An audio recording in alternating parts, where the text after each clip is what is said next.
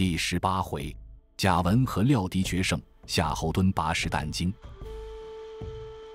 却说贾诩料知曹操之意，便欲将计就计而行，乃谓张绣曰：“某在城上见曹操绕城而观者三日，他见城东南角砖土之色新旧不等，鹿角多半毁坏，亦将从此处攻进，却须去西北上积草，诈为声势，欲哄我撤兵守西北，彼城夜黑，必爬东南角而进也。”秀曰：“然则奈何？”许曰：“此亦是耳。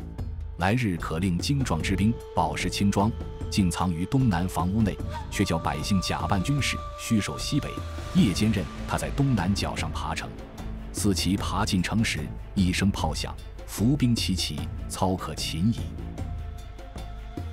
秀喜从其计，早有探马报曹操，说张绣进撤兵在西北角上，呐喊守城，东南却甚空虚。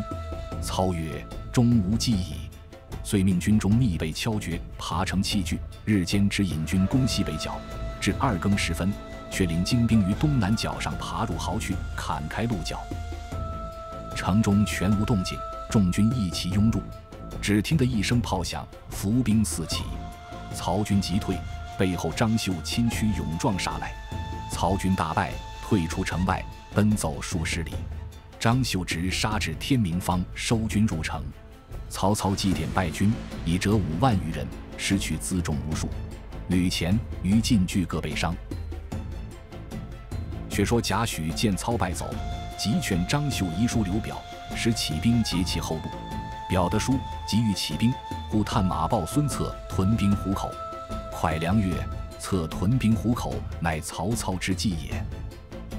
今操新败，若不乘势击之，后必有患。”表乃令皇祖坚守隘口，自己统兵至安众县节操后路，以免迂回张绣。秀知表兵已起，即同贾诩引兵袭操。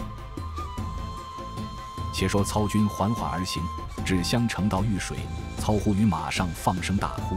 众惊问其故，操曰：“吾思去年于此地折了吴大将典韦，不由不哭耳。因即下令屯驻军马，大赦祭言，吊奠典韦亡魂。”操亲自拈香哭拜，三军无不感叹。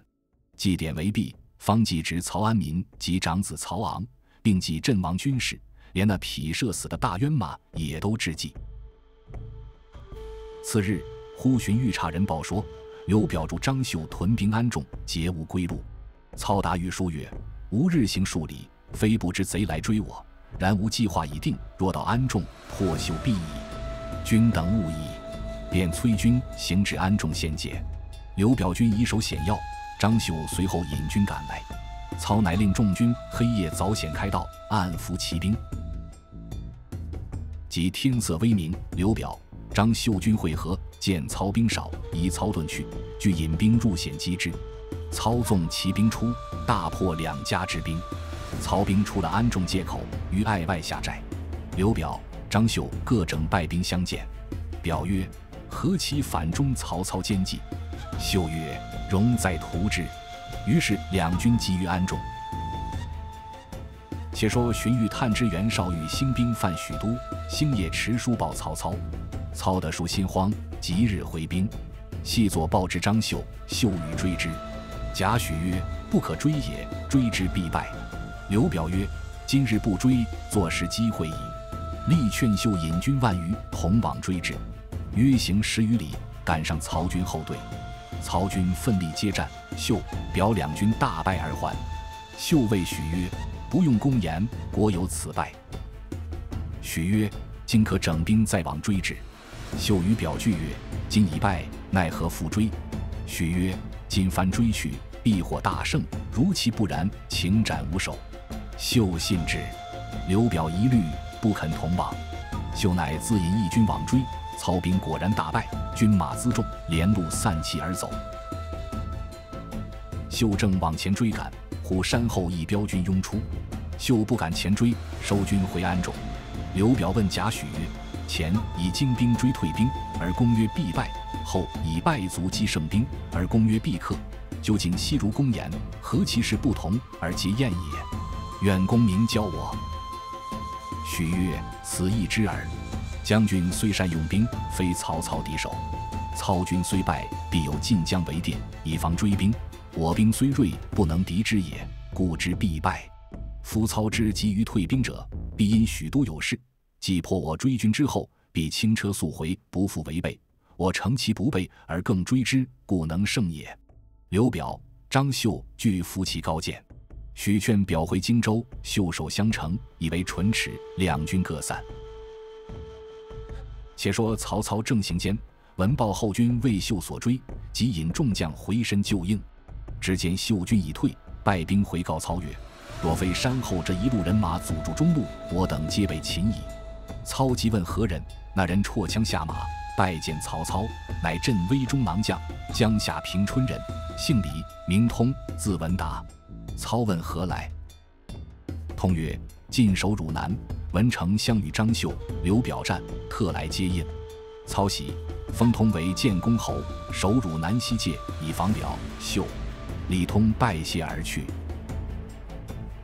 操还许都，表奏孙策有功，封为讨逆将军，赐爵吴侯。遣使击赵江东，欲令防剿刘表。操回府，众官参见毕。荀彧问曰：丞相缓行至安众，何以知必胜贼兵？操曰：“彼退无归路，必将死战。吾缓诱之而暗图之，是以知其必胜也。”荀彧拜服，郭嘉入。操曰：“公来何目也？”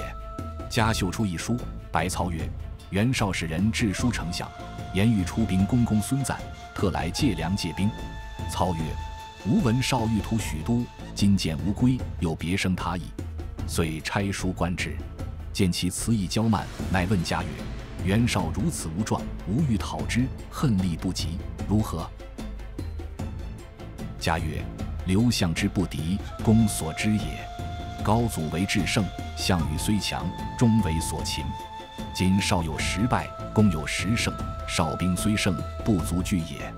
绍反礼多疑，公体任自然，此道胜也。”少以逆动，攻以顺律，此亦胜也。还灵以来，正十余宽，少以宽济，攻以猛究，此智胜也。少外宽内济，所任多亲戚，攻外简内明，用人为才，此度胜也。少多谋少决，功德策者行，此谋胜也。少专收名誉，攻以至诚待人，此德胜也。少许近忽远，功虑无不周，此人胜也。少听谗惑乱，攻浸润不行，此名胜也。少是非混淆，公法度严明，此文胜也；少好为虚事，不知兵要，公以少克众，用兵如神，此武胜也。公有此十胜，予以败少无难矣。操笑曰：“如公所言，孤何足以当之？”荀彧曰：“郭奉孝十胜十败之说，正与愚见相合。少兵虽众，何足惧也？”嘉曰：“徐州吕布实心腹大患。”今少北征公孙瓒，我当乘其远出，先取吕布，扫除东南，然后屠绍，乃为上计。否则我方攻绍，不比乘虚来犯许都，为害不浅也。操然其言，遂意东征吕布。荀彧曰：“可先使人往约刘备，待其回报，方可动兵。”操从之，一面发书与玄德，一面后遣少使。奏封少为大将军太尉，兼都督冀、青、幽，并四州秘书达之允，攻克讨公孙瓒，吾当相助。少得书大喜，便进兵攻公孙瓒。且说吕布在徐州，每当宾客宴会之际，陈规父子必盛称不得。陈公不悦，程建告不曰：“陈规父子面于将军，其心不可测，宜善防之。”布怒斥曰：“汝无端陷谗，欲害好人也。”公出叹曰：“忠言不入，吾辈必受殃矣。”意欲弃捕他往，却又不忍，又恐被人嗤笑，乃终日闷闷不乐。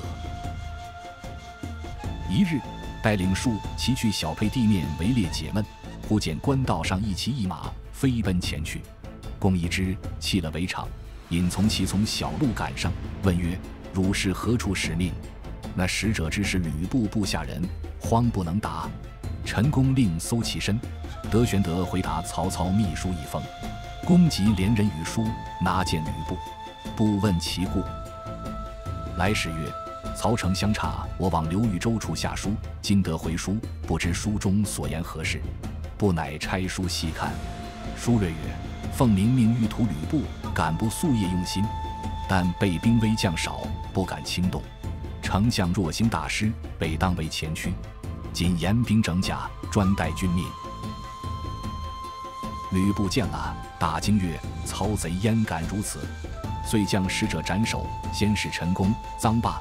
结连泰山寇孙关、吴敦、尹礼、昌西，东取山东兖州诸郡，令高顺、张辽取沛城，攻玄德；令宋宪、魏续西取汝、颍，布自总中军为三路救应。且说高顺等引兵出徐州，将至小沛，有人报之玄德，玄德即与众商议。孙乾曰：“可速告急于曹操。”玄德曰。谁可去许都告急？阶下一人出曰：“某愿往。”使之，乃玄德同郡人，姓简，名雍，字宪和，现为玄德募兵。玄德即修书复简雍，使星夜赴许都求援，一面整顿守城器具。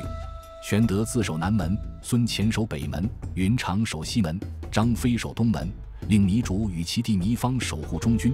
原来糜竺有一妹，嫁与玄德为次妻。玄德与他兄弟有郎舅之亲，故令其守中军，保护妻小。高顺军至，玄德在敌楼上问曰：“吾与奉先无隙，何故引兵至此？”顺曰：“你结连曹操，欲害无主，今事已落，何不救父？”言讫，便挥军攻城。玄德闭门不出。次日，张辽引兵攻打西门。云长从城上谓之曰：“公仪表非俗。”何故失身于贼？张辽低头不语。云长知此人有忠义之气，更不以恶言相加，亦不出战。辽引兵退至东门，张飞便出迎战。早有人报知关公，关公即来东门看时，只见张飞方出城，张辽军已退。飞欲追赶，关公急召入城。飞曰：“彼拒而退，何不追之？”关公曰：此人武艺不在你我之下，因我以正言感之，颇有自毁之心，故不与我等战耳。非乃物，只令士卒坚守城门，更不出战。却说简雍至许都见曹操，具言前事。操即聚众谋士一曰：“吾欲攻吕布，不由袁绍掣肘，只恐刘表、张绣扰其后耳。”荀攸曰：“二人心魄未敢轻动，吕布骁勇。”若更结连袁术，纵横淮泗，极难图矣。郭嘉曰：“今可乘其出叛，众心为复及往击之。”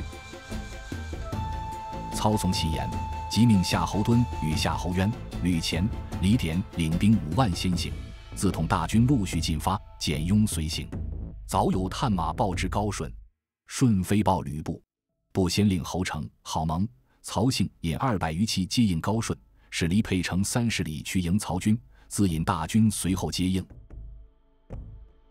玄德在小沛城中见高顺退去，知使曹家兵至，乃只留孙乾守城，糜竺、糜芳守家，自己却与关张二公提兵进出城外，分头下寨接应曹军。却说夏侯惇引军前进，正与高顺军相遇，便挺枪出马搦战，高顺迎敌。两马相交，战有四五十合，高顺抵敌不住，败下阵来。敦纵马追赶，顺绕阵而走，敦不舍，亦绕阵追之。身上曹信看见，暗地拈弓搭箭，取得真切，一箭射去，正中夏侯惇左目。敦大叫一声，即用手拔剑，不想连眼珠拔出，乃大呼曰：“父精母血，不可弃也！”遂那于口内弹之，仍复挺枪纵马，直取曹信。幸不及提防，早被一枪数透面门，死于马下。两边军士见者，无不骇然。夏侯惇击杀曹性，纵马便回。高顺从背后赶来，挥军齐上，曹军大败。夏侯渊救护其兄而走。吕虔、李典将败军退去极北下寨。高顺得胜，引军回击玄德，恰好吕布大军易至。不与张辽、高顺分兵三路，加攻玄德、关张三寨。正是但惊猛将虽能战，终见先锋难久持。未知玄德胜负如何？且看下文分解。感谢观赏，请记得点赞，并且支持本频道，更多精彩内容等着您。